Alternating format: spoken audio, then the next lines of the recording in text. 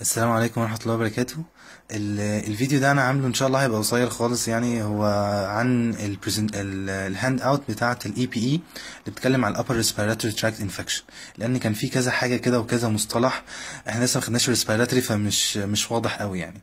آه، إحنا عندنا هنا ال- المفروض اللي ده هيبقى module respiratory يعني بس هناخد فكرة كده صغيرة عن الأمراض اللي جات لنا في في ال handout دي. أول حاجة لما في بكتيريا أو foreign material تدخل من ال air لل لل nasal cavity عندنا بيحصل حاجة اسمها rhinitis rhinitis ده عبارة عن ال nasal mucosa بيحصل لها inflammation تمام؟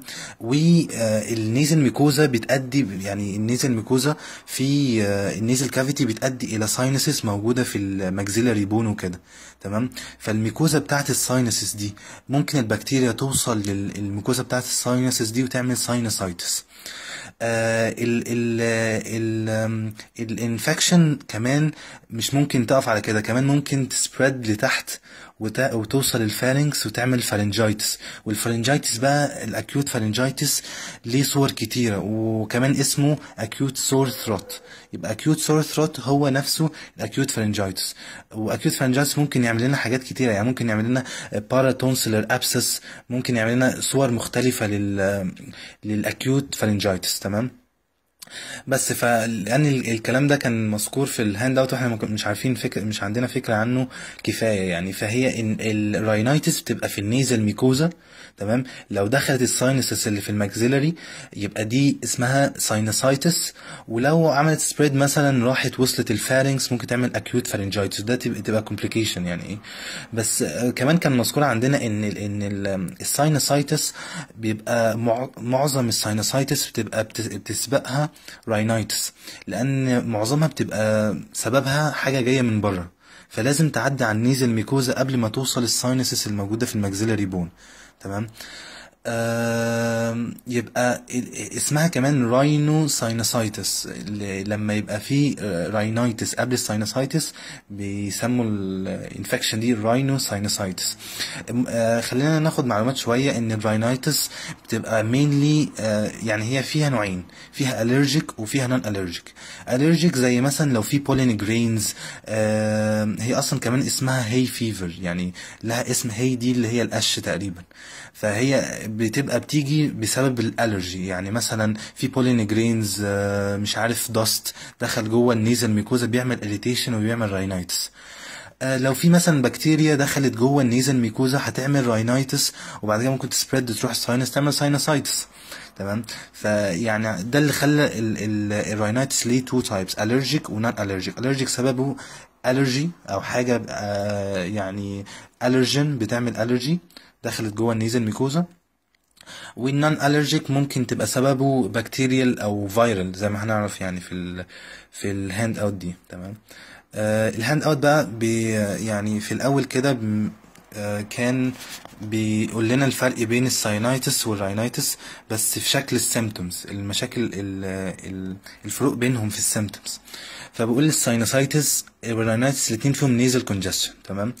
ال sinusitis آه، ال sinusitis عشان في infection وفي بكتيريا وفيروس فهتعمل لنا purulent rhinorrhea ده عبارة عن ال discharge اللي بيطلع من ال nose بيبقى purulent يعني بيبقى فيه pus بيبقى ممكن greenish شوية أو yellowish in color ما بيبقاش clear تمام؟ على عكس ال rhinitis بتبقى clear discharge from the nose. تمام؟ آه ال ال في في ال sinusitis حاجة اسمها post nasal drip post nasal drip معناها إيه؟ معناها إن ال discharge اللي بيطلع من ال nose طبيعي بيطلع من آه من front of the nose يعني أو بيطلع من face بي بي drip لورا بيرجع ورا ويوصل كمان ال- ال nasopharynx وي drip في ال oropharynx يعني بت... ب... الدكتور بيشوف آه، في بعض ال discharge في الصورة اللي إحنا كنا فاتحينها هنا. يعني ال discharge. بدل ما يطلع قدام بيرجع لورا كده وبي drip آه، من ال nasopharynx لتحت تمام؟ فده مسمينه ال post nasal ال post nasal drip تمام؟ وهيكون مع ال sinusitis برضو بعض ال headache وال facial pain وال anos آه، المفروض ده آه، insomnia ولا إيه؟ anosmia بصراحة ما أعرفش إيه anosmia دي بس آه، آه، بيكون معاه برضو cough و fever تمام؟ آه ال rhinitis بيكون معاها ال rhinorrhea clear بيبقى عندها runny nose بيبقى في runny nose آه في رشح وبيبقى في itching عشان برضو قلنا ده allergy mostly بيبقى سببه allergy ويبقى في اللي عنده red eye وفي nasal crease nasal crease دي آه، عبارة عن إن ال- ال nose بيبقى أنا تقريبا عندي صورة بالموضوع ده. أهو ال nose بيبقى عندها transverse line كده في النص وده بسببه برضو بسبب ال allergy آه بال allergy تقريبا بيكون في itching جامد فبنقط آه مع الهرش الكتير بيعمل transverse line ده اللي هو ال- crease أو اللي اسمه ال nasal crease تمام؟ وفي seasonal symptoms seasonal symptoms هنا معناها إن بيبقى في malaise وفي muscle weakness وكده. تمام؟ نفرق إزاي بين ال sinusitis وال rhino وال وال rhinitis خلينا نقول ان إن mainly ممكن نفرق منهم بال discharge زي ما قلنا إن ال rhinitis فيه clear discharge وال sinusitis فيه discolored أو greenish yellowish discharge بيبقى purulent عشان لو جات لنا case ولا حاجة نقدر نفرق بينهم تمام؟ هنا بيتكلم إن ال sinusitis معظم ال sinusitis بيبقى بيسبقوا rhinitis تمام؟ وطبعا مش موضح ليه وكده. بقول هنا ان respiratory tract infections أم، very common يعني the bread and butter of the daily practice يعني حاجة common جدا bread and butter ده المفروض idiom يعني bread and bu- uh, butter of daily practice أم، ده يعني هي very common اللي هي تحصل في في الحياة اليومية عادي أم، بعدين البتاع مش عارف الصورة جاية كلها ولا لأ طيب أم إحنا دلوقتي المفروض الدكتور بيتكلم مع المريض ويعرف ال ال ال illness ده بقى لها قد إيه. وهنا بقول إن إحنا المفروض نعرف يعني ال common cold نعرف اللي هو بي- بيستمر من أسبوع لنص كده عشان لما لو استمر أكتر من كده يبقى في complication نقدر نحددها. آه، ال acute otitis فيها أربع أيام وكده مدينا الأمراض وبيقول لنا هي المفروض ال normally بتفضل بتفضل كام يوم يعني. عشان لو زادت عن كده نعرف إن في complication جامدة. تمام؟ آه هنا بقى بيتكلم على ال patient centered care اللي هو يكون فيه good communication ما بين الدكتور والمريض. آه إن تبقى ال information tailored على ال patient نفسه. يعني آه إحنا بناخد ال patient ككل. ممكن patient عنده cardiac disease مع respiratory disease بنحدد له دواء معين كده بيبقى بن- بناخد ال patient ككل. مش أي patient يجي لنا كده بنديله stamp الدواء وخلاص. يبقى tailored على ال patient طبعا تبقى culturally appropriate تبقى مطابقة للعادات بتاعته وال- ال- الثقافة بتاعته. وما تبقى يعني بتبقى برضو آه، بتراعي الفيزيكال لو عنده physical أو sensory أو learning disability يعني عنده م- مشكلة مثلا آه، mental problem ولا حاجة أو عنده آه، physical problem عنده مثلا deafness أو آه، ال blindness أو كده. يعني لو عنده blindness مثلا ما نديش دواء في أدوية بيبقى عليها braille words وكده. ف يعني نراعي الموضوع ده وإحنا بنكتب دواء وإحنا كمان بنتعامل مع المريض. لو في طبعا هنا مدينا نقطة مهمة إن هو بيقول لك إن في حاجة اسمها no antibiotic prescribe آه، prescribing strategy. طيب خلينا نعرف ال strategies أصلا بتاعت ال antibiotic في ثلاثة strategies اللي إحنا ندي antibiotic أول استراتيجي اللي هي بتبقى immediate antibiotic بندي antibiotic immediate وفي delayed antibiotic وفي no antibiotic prescribing strategy. No antibiotic يعني إحنا مش هنديله antibiotic بس إحنا كشعب مصري ويعني معظم ال patients يعني لما يكون عنده infection زي ده بي ما الدكتور يديله مضاد حيوي بيطمن. فبقول يعني اما إحنا لو إحنا قررنا إن إحنا مش هنديله antibiotic نراعي إن إحنا نقول له نفهمه إن هو آه، مش محتاج ال antibiotic مش هيعمل له أي حاجة. ال antibiotic وكمان ممكن يعمل له side effects كتير. تمام؟ إحنا ممكن identify إزاي ان ال patient ده عنده respiratory tract infection ممكن يجيله complications كتيرة. أول حاجة في أربع نقط بنحددهم في ال patient نشوف systematically systemically هو well ولا لأ. يعني جسمه الباقي ال organs الباقية كويسة ولا لأ. آه، لو ال patient عنده symptoms و signs of suggestive serious illness.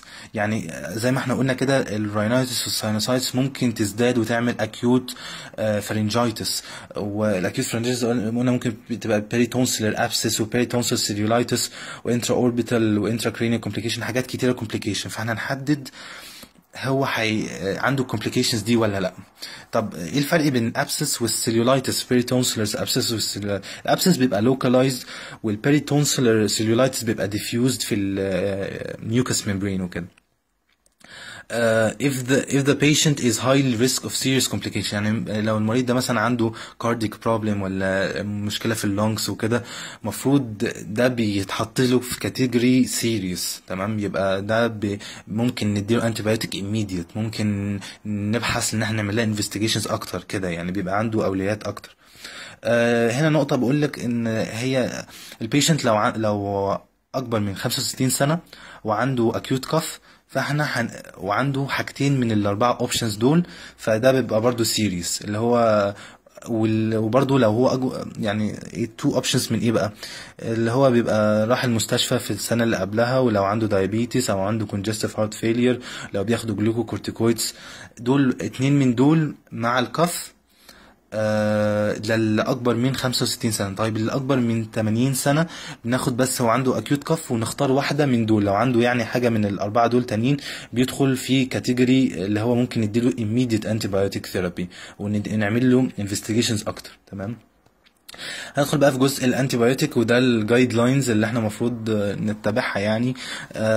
بيحدد إمتى ندي ال antibiotic لو systemically unwell زي النقطة دي قلناها قبل كده. ال symptoms بقى لها 10 أيام. عشان كده قلت لكم لازم نعرف المدة الطبيعية إيه في ال في ال في المرض بتفضل قد إيه وكده. نشوف ال symptoms طبيعي بتفضل قد إيه. وال symptoms worsen after خمس أيام؟ يعني بتستاء ال symptoms اللي عنده. بتدي له amoxicillin و doxycycline و كلاريستامايد طبعا يعني الأسامي دي عدت علينا كتير يعني ال amoxicillin amino penicillin وكلام كده. طيب ال delayed antibiotic prescribe آه النقطة دي بقى أنا فضلت قدامها. آه بصراحة مفيش حاجة واضحة فيها. بس هو تقريبا هو بيتكلم هنا عن research عملوه عشان يش... آه تقريبا تخيلوا معايا كده إن خدوا 3 groups group اداله immediate antibiotic therapy. آه دي نوع من استراتيجي معينة. و group آه اداله delayed antibiotic و group ما مش اداله antibiotic خالص. وبعدين they were considering ال symptoms severity بيحصل لها إيه؟ من 2 ل 4 أيام والduration of illness حصل لها إيه في كل group وال temperature control بتاع كل group وكمية ال antibiotics اللي استخدمها كل group آه وبرضه بي بيقيسوا ال belief بتاع ال use of anti يعني بيشوفوا المريض نفسه عاوز ياخد antibiotics ولا لأ. تمام؟ وال level of satisfaction المريض في الآخر هل كان satisfied بال إن هو خد antibiotic فأنا خلاص قعدت مبسوط كده؟ يعني ده حاجات كانوا بيقيسوها في ال في ال research اللي هم عاملينه ده. وطلعوا طلعوا سمري كده تقريبا موجود في ال presentation يعني سهل يعني ممكن يتقري السمري آه ال acute sore throat أو acute pharyngitis هم الاثنين حاجة واحدة.